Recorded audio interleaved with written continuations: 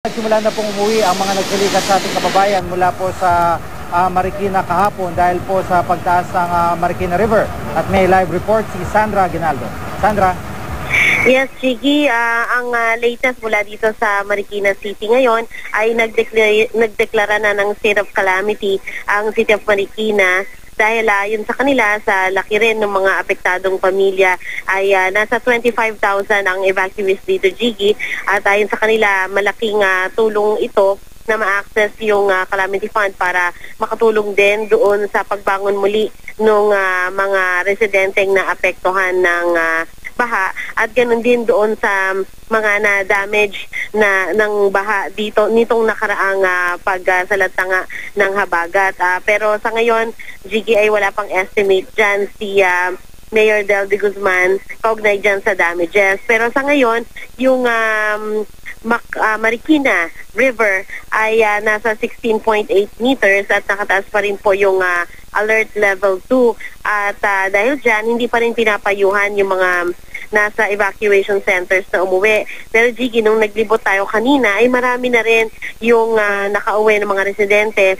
Gaya na lang halimbawa dun sa Barangay Malanday na ang ah, tubig doon kahapon ay lampas pa sa first floor ng kanilang bahay. At um, yung mga residente na nakausap natin doon naglilinis na. Dahil ayon sa kanila gusto na rin nilang maibalik ang sa normal yung kanilang buhay. At ah, medyo may pride din sila na pinagmamalaki nila.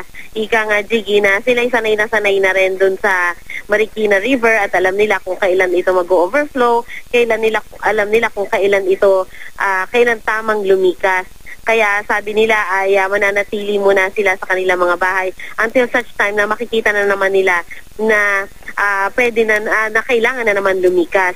Pero nung binisitahin naman natin yung isang evacuation center, Gigi, ang sinasabi sa atin na ang ah, namamahala doon ay hindi pa nila ina-advise na ganon. Ah, if at all, ang ina-advise lang nila sa mga residents ay ah, i-check muna yung kanilang bahay, maglinis-linis bilang paghahanda dun sa utos ng ah, lokal na pamahalaan na sila'y pwede na talagang bumalik. So, ayan, yan ang nangyari ngayon, Jiggy. Pero syempre, hindi maiwasan yung mga residente na magbalik sa kanilang bahay, lalo na marami rin silang mga naiwan doon na mahalagang kagamitan na gusto nilang i-check. Yan, sa ngayon, yan muna, Jiggy, ang pinakahuling ulat mula dito sa Marikina City. Jiggy? Maraming salamat Sandra Ginaldo.